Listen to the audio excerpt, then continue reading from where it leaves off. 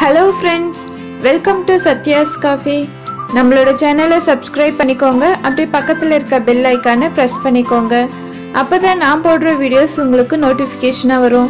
இன்னைக்கு எக் பொடி மாஸ் வீட்லேயே ரொம்பவும் டேஸ்ட்டாக எப்படி சேர்த்துன்னு தான் பார்க்க போகிறோம் இந்த பொடி மாஸ் செய்கிறதுக்கு ஐம்பது எம்எல் எண்ணெய் சேர்த்துருக்கேன்.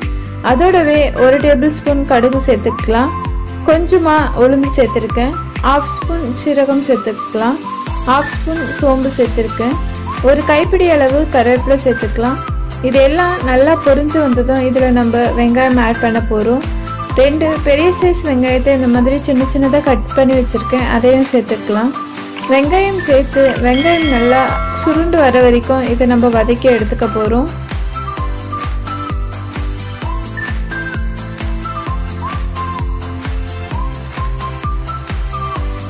இந்தளவுக்கு வெங்காயம்லாம் வதங்கினதும் இதில் தக்காளி ஆட் பண்ணிக்கலாம். ரெண்டு மீடியம் சைஸ் தக்காளியை சின்ன சின்னதாக கட் பண்ணி எடுத்து வச்சுருக்கேன். அதை சேர்த்து நல்லா வதக்கி எடுத்துக்கலாம்.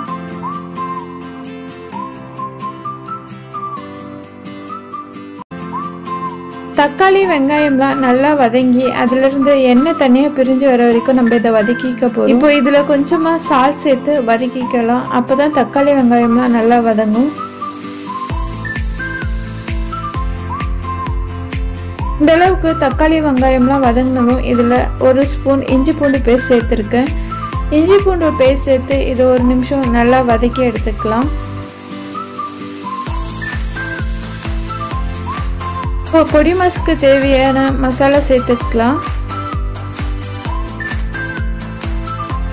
ஒரு டேபிள் ஸ்பூன் தனியா ஆட் பண்ணிக்கிறேன். ஹாஃப் ஸ்பூன் மிளகாத்தூள். கால் ஸ்பூன் சீரகத்தூள். கால் ஸ்பூன் கரம் மசாலா ஒரு tablespoon chicken masala half spoon மஞ்சள் பொடி. இது எல்லாத்தையும் சேர்த்து நல்லா மிக்ஸ் பண்ணி விடலாம்.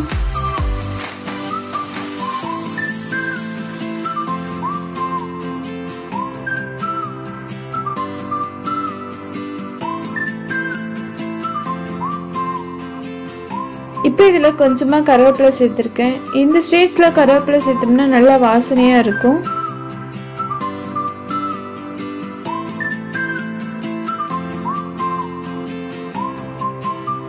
இப்போ இதில் ஒரு அரை டம்ளர் தண்ணி சேர்த்து இதை நல்லா கொதிக்க வச்சு எடுத்துக்கலாம். ஒரு கொதி வந்ததுக்கப்புறம் இதில் நம்ம முட்டையை சேர்க்க போகிறோம். நாலு முட்டை எடுத்திருக்கேன். நாலு முட்டையை இந்த மாதிரி உடச்சி ஊற்றிக்கலாம் முட்டையை உடச்சி ஊற்றினதுக்கப்புறம் இதை நல்லா மிக்ஸ் பண்ணி விடலாம்.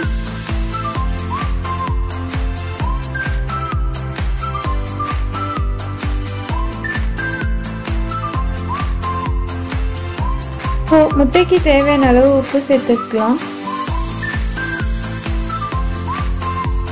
இப்போ இதில் கொஞ்சமாக கொத்தமல்லி தழை தூவி இருக்கு இப்போது ரொம்பவும் டேஸ்டியான எக் பொடி மாஸ் வீட்டிலேயே ரெடி ஆகிடுச்சு இந்த பொடி மாஸ் பார்த்தீங்கன்னா ரோட்டு கடையில் இருக்கிற பொடி மாஸ் மாதிரியே ரொம்பவும் டேஸ்ட்டாக இருக்கும். இந்த ரெசிபியை நீங்களும் வீட்டில் ட்ரை பண்ணி பாருங்கள் எப்படி வந்திருக்குன்னு மறக்காமல் கமெண்ட் பண்ணுங்கள் நம்மளோட சேனலை லைக் பண்ணுங்கள் ஷேர் பண்ணுங்கள் சப்ஸ்கிரைப் பண்ணுங்கள்